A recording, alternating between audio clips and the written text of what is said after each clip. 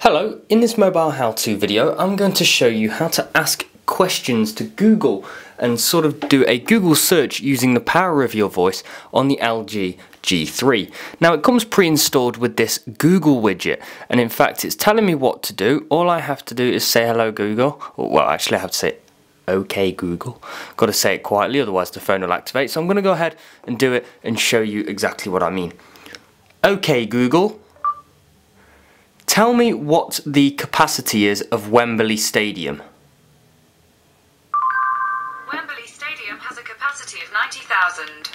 So as you can see I've performed a, a, voice search, it's googled my question and it's read back an answer. Let's say, what time is it in New York City? The time in New York, New York, USA is 4.49 p.m. So it's given me another answer to a pretty straightforward question. So that's how I'd use my voice to ask Google a question and perform a Google search on the LG G3.